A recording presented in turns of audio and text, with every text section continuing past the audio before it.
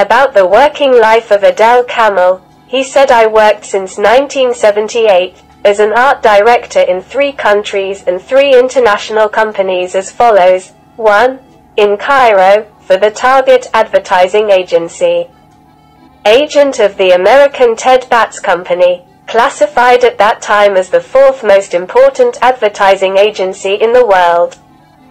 And I designed advertisements for a number of five-star hotels such as Sheraton, Holiday Inn, Meridian Pyramids, Semiramis, and Marriott. 2. In Jeddah, Saudi Arabia. I worked as the artistic director and an co-editor of the Saudi Research and Publishing Company, the publisher of the Middle East International newspaper, Arab News, and Sayadati magazine. Headquartered in London. 3. From London, I visited the most important museums and cities in the world, Paris, Rome, the Vatican, Nice, Brussels, Amsterdam, Berlin, Munich, Tunis, New York, Hollywood. The French beaches of Nice, the Tunisian Beau Said, the German Zindavort, the American Santa Monica, and the Isles Iranian Kish. 4. In the city of Dubai in the United Arab Emirates. I worked as a creative director and editor of International Tourismat in Dar Al Bayan Publishing, and I developed the Emirates Today magazine by converting it from an economic to a tourist one. It earns 60 million dirhams per month from advertisements for hotels, resorts, tourism companies, airlines, perfumes, jewelry, cars and luxury stores. 5. In Egypt, Due to the combination of professional experience in the field of advertisements, journalistic writing, press directing, and the design of publications, logos, books, magazines, and their covers. I founded the Christie Times newspaper, then worked as a media consultant for the Trust Group, owner of Pichu American City in Mardi and established the Hakawi magazine to publicize and promote her group of 12 companies. 6. After that, I created three diversified channels on YouTube, which today include nearly 900 videos. ولد المصمم والكاتب عادل كامل في حي عابدين بالقاهرة في الخامس عشر من أكتوبر 1954 ودرس إدارة المواني والخدمات البحرية بالمعهد التابع لجامعة الدول العربية وتخرج في العام 1987 واتجه بعدها للدراسات الحرة في التصوير.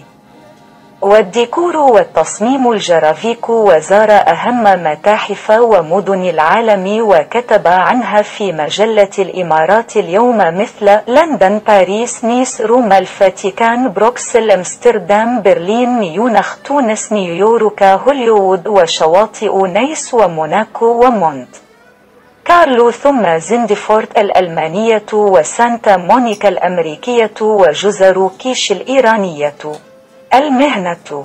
مصمم جرافيكا بدرجة creative director وكاتب محتوى للصحف والمجلات وال social media و YouTuber أنشأ 860 فيديو على اليوتيوب كما أنه مؤلف لعدد من الكتب في الفن والسياحة الدولية وغيرها وناشر لها على قنوات.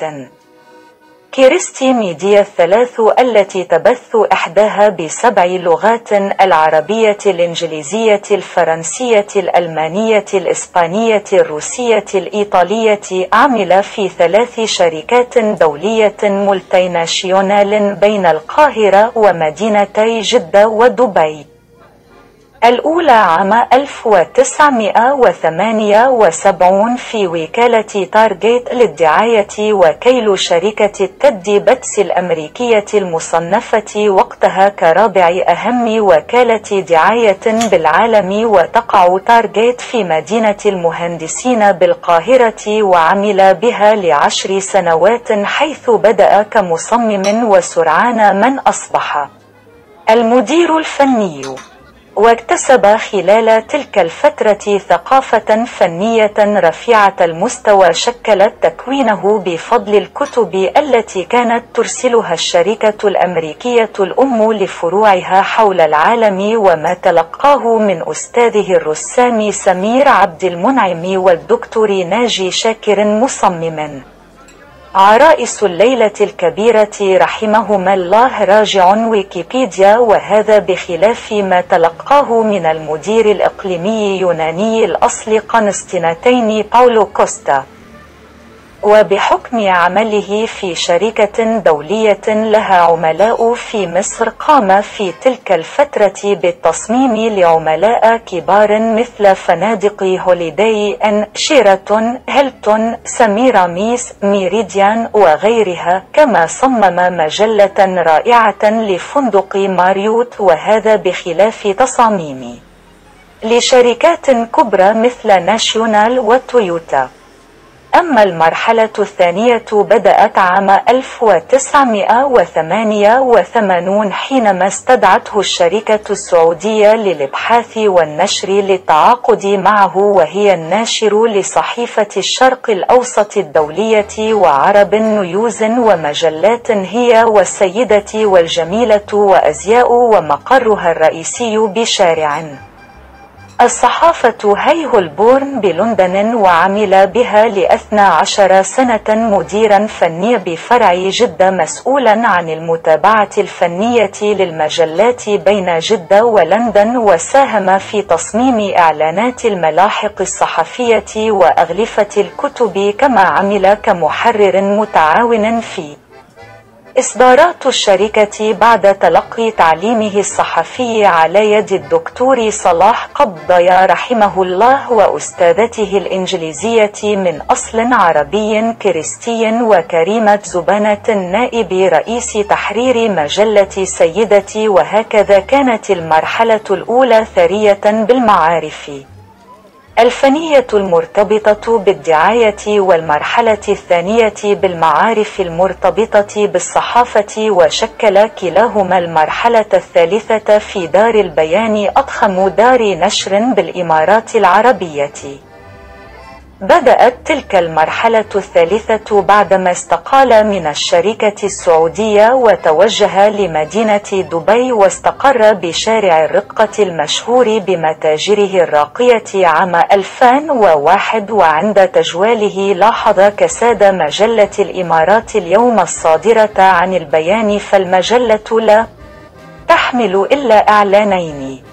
فتقدم في صباح اليوم التالي لضاع شاهين رئيس الدار بمشروع تطوير المجلة وتحويلها من اقتصادية إلى سياحية مع تعديل أسلوب الإخراج وإلغاء نشر الصور الشخصية لرجال الدولة بسخاء وكأنها مجلة حكومية وبكل أسف.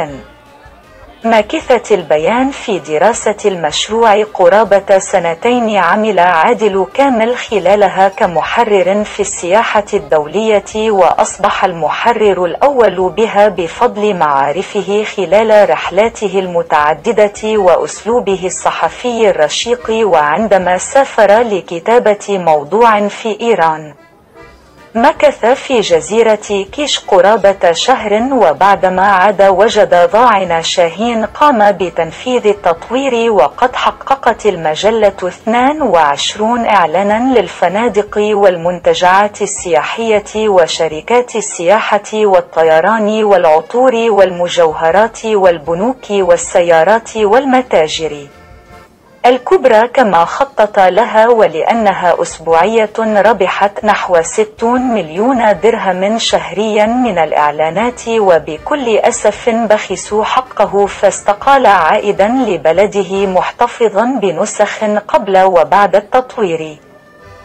وكانت المرحلة الرابعة في مصر في دار كريستي ميديا للنشر عندما دفعه نجاح مجلة الإمارات اليوم إلى إنشاء صحيفة كريستي تايمز التي استغل بها حرفيته في الدعاية والصحافة ليخلط كلاهما في صحيفة واحدة إعلانية.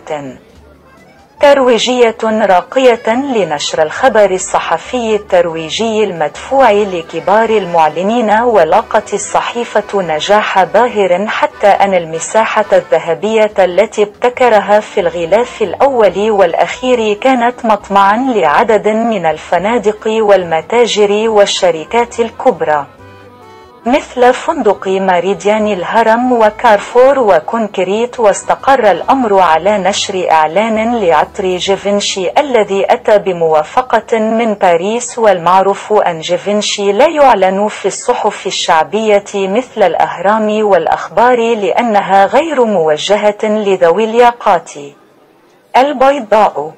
لكن اختفت كريستي تايمز بعد توجه الشركات للإعلان على وسائل التواصل الاجتماعي لكن ظلت بعض النسخ للتاريخ وعندما لاحظ عادل كامل النفقات الباهظة التي يتكبدها المليونير هشام رضا صاحب تراست جروب المالكة. لمدينة بيتشو أمريكان سيتي بضاحية المعادي على إعلاناته في صحيفة الأهرام عرض عليه إنشاء مجلة تضم ملزمة عقارية للترويج لشركاته الأثنى عشر فقام هشام بتعيينه مستشارا إعلاميا للمجموعة وقال أريدها مثل كوزموبوليتان الأمريكية فظهرت مجلة حكاوي الفنية الاجتماعية الترويجية المنوعة للنور وضمت 260 صفحة رائعة تنافس مجلة الإمارات اليوم بضراوة لو دخلت دبي. وهناك نسخ من كلاهما لعقد مقارنة تؤكد حرص عادل كامل على الدقة والتميز والأناقة الباهرة في أسلوبه التحريري والإخراج الصحفي وتصميم الإعلانات والترويج الدعائي. ومن مؤلفات عادل كامل كتاب الفن والحضارة وكتاب medieval style عن فنون العصور الوسطى. وكتاب مقاهي لندن عن الطبقية في المجتمع البريطاني قديما. وباريس احتفال بالحياة في الحياة. وآلهة آخر موضة. وحكاوى فرعونية. والسحر الأسود. والملك الإله. وحياة ألفونس موخا رائد فن ال Art Nouveau الذي كان له تأثير قوي وظاهر في تصاميم عادل كامل لزمن طويل وبلغة عصرية أطلق عادل كامل على اليوتيوب قناة كريستي ميديا رقم اثنان موسوعته المصورة بأسم الموسوعة السياحية. لشرح أسماء الله تعالى التي ترجمت موجزة بسبع لغات على قناة كريستي ميديا الثالثة وتدعو للألفة مع كل الديانات والعقائد ونبذ العنف والتطرف. قال فيها الدين حالة عقلية وإذا أمرنا الله تعالى برحمة الحيوان. فكيف لا نرحم إنسان بسبب ما يحمله عقله من أفكار يرتاح لها؟ هذا بخلاف قناته كريستي ميديا الرابعة وهي ثقافية ترفيهية خفيفة الظل سريعة المعلومة قال عنه الكاتب والناقد الفني حاتم صادق خربيط المسؤول الأسبق عن تحرير الصفحة الثقافية بصحيفة الشرق الأوسط الدولية عادل كامل طاقة فنية لا تهدأ يختلط في حياته الليل بالنهار وغالبا ما يعمل لعشرين ساعة.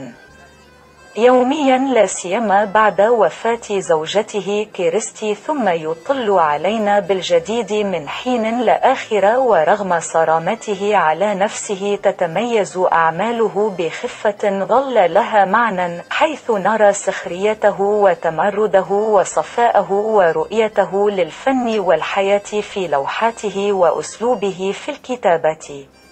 الصحفية ومن أقوال عادل كامل المأثورة على الصعيد الفني.